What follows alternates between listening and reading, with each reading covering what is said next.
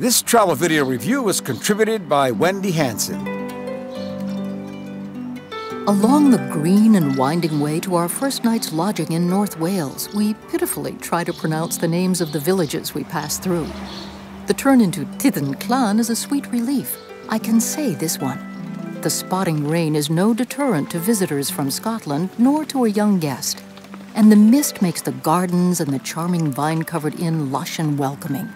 Inside, comfortable common rooms beckon, and although the guest rooms are small, they're cozy, and the baths a luxurious surprise. But the real heart of Llan beats in its dining room, for it is indeed a restaurant with rooms.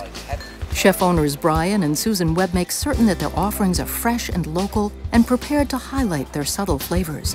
For the lucky diner, the result is a delight. Tyddyn Llan is off the tourist path in the small village of Llandrillo, even if you can't pronounce it, finding it is a joy. Watch our other travel video reviews and postcards.